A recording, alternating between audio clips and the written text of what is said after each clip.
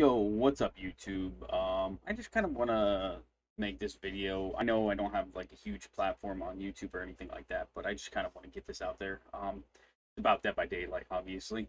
Um, and the OP versus non-OP uh, discussion on like killers and stuff. Um, because uh, on TikTok I do go through some Dead by Daylight content, and I do in fact see a lot of a lot of people from what I see, it's mostly survivors. I don't want to say that because I don't want to seem like I'm that guy, you know. But I do play a lot of killer, but I also play survivor as well.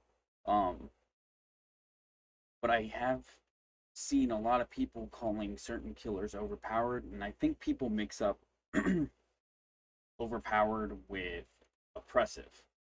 Um, now, some of the killers that I saw mentioned were Nemesis, uh, Trickster specifically recently. Um, but the one that really caught me off guard was saying that Nemesis was overpowered, which I highly disagree with as a Nemesis main right now.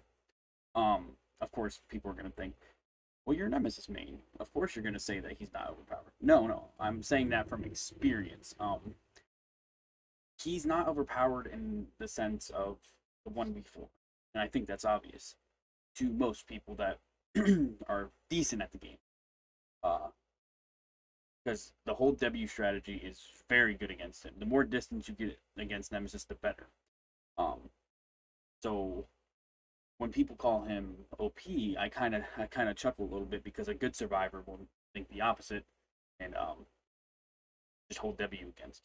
He's oppressive in the one v one, and the game's a one v four, obviously. So in reality, when survivors get mad at killers for picking OP killer OP killers, uh, or something like that. I really think they should be more upset with incompetent teammates, which MMR proved to uh, fix. Uh, when you're matched with survivors of your skill level, it shows that you're a lot more productive on your team, or it shows how unproductive you actually are on your team. um, from when MMR was actually activated, I was getting. I I think I'm not the only one too. Um, but I was getting survivors that were very very efficient on gens, um, which is cool to see because it actually gets me to step up my game, you know. But I don't think you can call a killer OP when it's your teammates that are causing the problems. Because in my opinion, Dead by Daylight is very heavily influenced by the survivor's mistakes. One mistake as the killer can cost you almost the whole game. Uh, eight mistakes as survivor, you're all right because you have other people to fall back on. And if those people on your team are actually competent, your mistakes will not matter as much as you think. Now, if the whole team is making mistakes, you cannot be mad at the killer. You're not justified at being mad at the killer for taking advantage of those and if you're not you're, you're not really justified at all to be mad at the killer for taking advantage of those mistakes. Um because they're punishing you. That's that's what the killer needs to do. A killer needs to punish you if you're making a mistake. So those saves in front of your face um and borrowed time blocks which borrowed time that's a whole different story.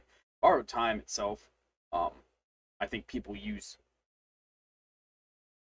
kind of abused actually. Um, borrowed time is just that. It's borrowed time.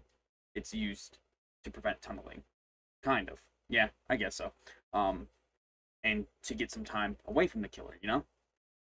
A lot of people use it defensively. Or no, I should say offensively, but defensively for a teammate. So I punish that.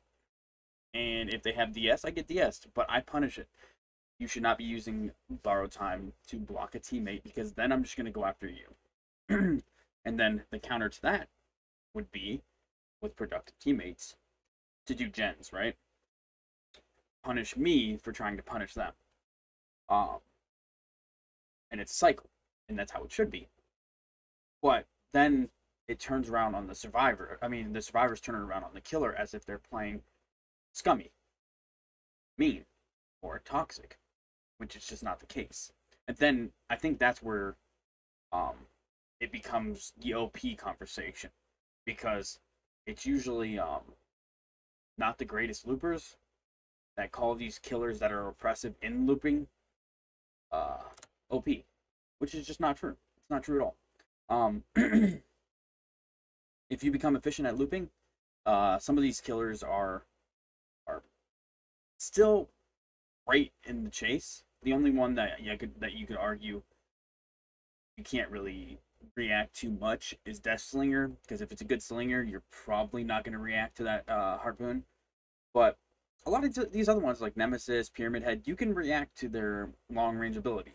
and uh, I just don't see how they're overpowered. Um, I do see how they're oppressive to people that aren't the greatest at looping.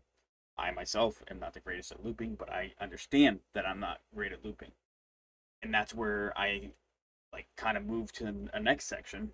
Um, egos. I think this game um, can really inflate egos, which I which is why I recommend a lot of people just do the solo solo queue survivor for a little bit. I think that would humble a lot of people. Um, solo queue survivor is not easy. Um, there's no comms. There's no, no information besides what you have and what you bring in. And I think it kind of mixes up what perks you should bring. I personally bring borrowed time to get safe unhooks if I need if need be, if somebody's getting being tunneled or whatnot. Um I bring kindred just so I can see the situation of what's going on. I try to be as proactive as possible when I'm playing solo queue. Uh and even um, I bring We'll Make It in case the killer doesn't come back to the hook. We get fast heals, right? Uh, and I kind of substitute the last one, Iron Will, so I can be a little bit kind of quiet, uh, or the new totem perk, so I can avoid Noed. Jill's new totem perk, but that's see that's the thing. There are all there are plenty of ways of going about, um, kind of handling these killers that are like OP. Um, but I think survivors are just so stuck in the in the meta that they're not willing to experiment with builds and stuff that could potentially like stop some of these killers. I don't know. Um, what I'm getting at is I kind of went off topic. Uh, Nemesis, Pyramid Head, uh, Trickster. Trickster's add-ons were the only thing OP, and they just got nerfed. I mean, uh, they just got buffed. So no, nerfed. They just got nerfed. So I don't see a problem with him. Um, and then people will be will say, "Well, a good trickster." Exactly. Listen, let that play through your head. A good trickster, a good trickster, a good nemesis, a good death slinger, a good pyramid head, a good blight, um, a good Demogorgon. Any of these ones that seem oppressive, um, when you put good in front of it, like they that's actively saying the player has to be good. Therefore, why are we calling it OP if you have to be good with that character, right? Um, it takes a good amount of skill to play that character it takes a, like a good nemesis versus a good survivor that survivor's probably going to loop him for a decent amount more than for like probably 45 seconds to a minute if he's not breaking chase. But a good nemesis would break chase to try and find the weak link. Now what happens in mmr mmr you have four solid links if you're playing at a good level.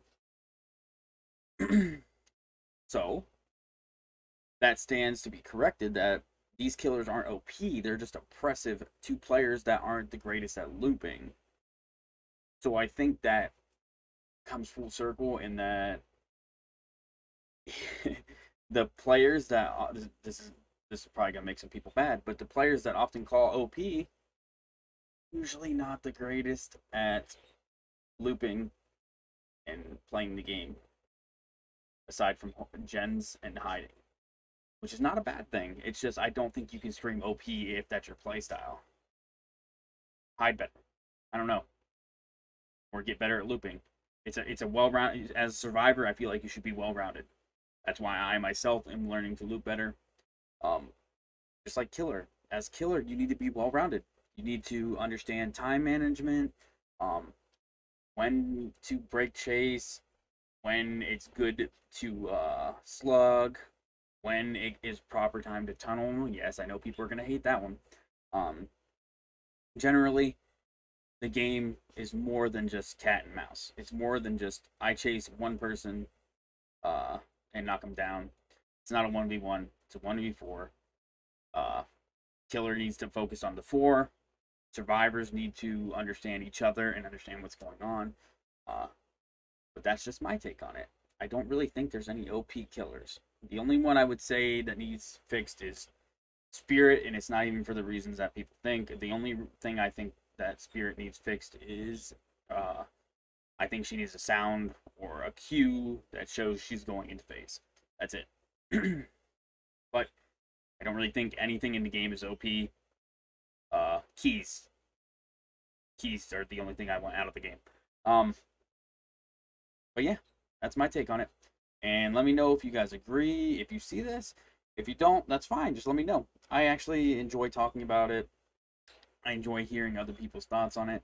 Um, just don't be toxic. Just like let's communicate and not be toxic about it because we we're I we're all better than that, and let's show the DBD community that we can be better than that. But uh, I will see you guys next time. Peace out.